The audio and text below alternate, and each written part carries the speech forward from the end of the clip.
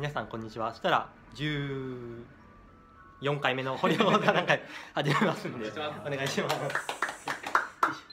ということで、うん、と今回のお題が1分前に。出 てみんなちょっとうーんって今悩んでるところなんですけど一応あのお題いただきましてあの、まあ、家族の家訓というかこういうことはやってくださいとかこういうことをしちゃいけないよみたいなことありましたかっていうことをお話受けたんでちょっと一人ずつ聞いていこうかなと思うんで、はい、じゃあ鷲見さんあ僕から。はい。僕は夜ご飯夜ご飯だけじゃない。ご飯全般なんですけど、はいはい。テレビは見ちゃいけません。あなるほど、はい、昔から。そうですね。はい。なんでなんでしょうね。あおじいちゃんおばあちゃんも一緒に住んでたんですけど、はいはいはい、もうダッとみんなでテーブル囲んで、はい、団らんをしながらあなるほど。テレビはそんなの見ちゃいけませんと。なるほど。見たいテレビやってもピシッと消しちゃうんですか？消しちゃいます。消しちゃいます。消しちゃいます。厳しいですね。そうです。見たいテレビがあってあ、はい、そうなんです、ね、消しちゃいますね。お父さん見たくても見たりとかしないですか？しないです。しないです。すごいですね。テレビは見ちゃいけません。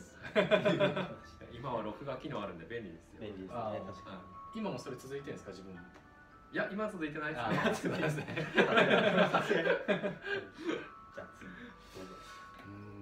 基本的に結構伸び伸びそうなってきてあれですけど。あんまそういう基本的なルールがなかったんですけど、はいはい、よくまあ昔言われたのが、はい。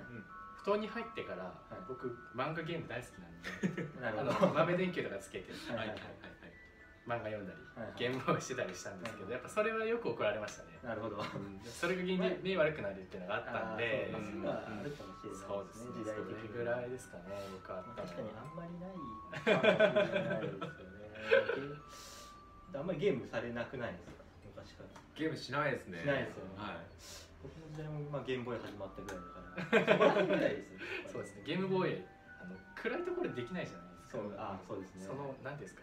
背徳感っていうか隠れてやる感じが。隠れてねそう隠れてやる感じが好きだったんで。まあ20代あるあるだと。思い。ましたはい20代です。20代です。